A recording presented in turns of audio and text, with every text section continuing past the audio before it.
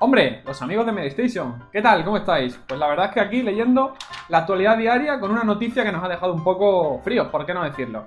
¿Qué? Capcom, ¿qué?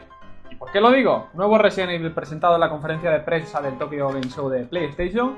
Se llama eh, Umbrella Corps y es un juego de acción en tercera persona competitivo. Es decir, pues una continuación no directa de aquel Operation Raccoon City, por lo menos en enfoque, que como ya sabéis no fue un juego que, gustara demasiado a la comunidad de Resident Evil.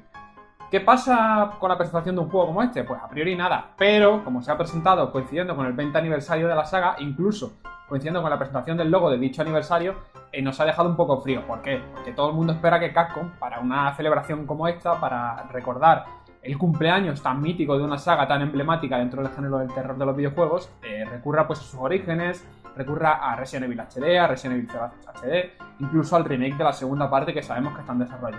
Y no a un juego de acción tercera persona en la que ya hemos visto varias clases de personajes, una de ellas que tiene un pico que se va enganchando con Lara Croft por las paredes para esquivar a los zombies.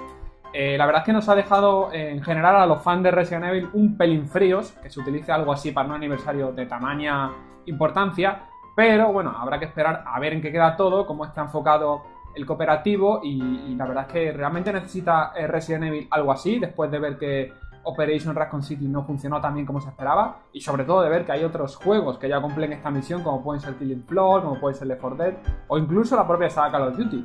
Que recordemos, eh, comenzó a coquetear con los zombies con casi un chiste, con una pequeña expansión de la historia, un spin-off eh, digamos, una broma y ahora tiene un contenido de bastante calidad y con Treyarch trabajando en, una parte de zombies que es casi equiparable al modo campaña de, Black Ops 3.